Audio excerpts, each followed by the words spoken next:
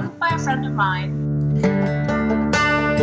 She noticed that it was moving and she was like, oh my god, it's a bird. And then she was like, oh my god, it's a puffin. So I went to see it and it was just, ah, it looked so miserable.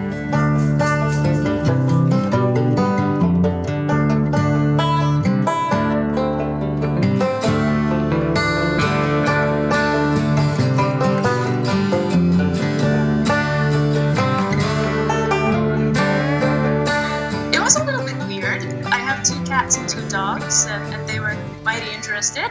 Then we started to notice that he was acting very odd. He would be walking into things, he was non responsive to any movement around his head and eyes. He would probably not make it in the wild.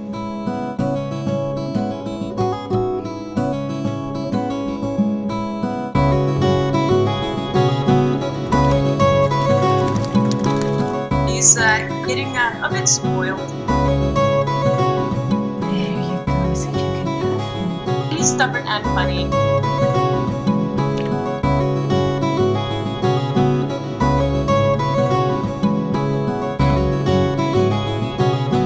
It is a lot of work, but I enjoy it. I love animals, and they have as much a right to be here as we do. So you know they deserve all the help that we can give them.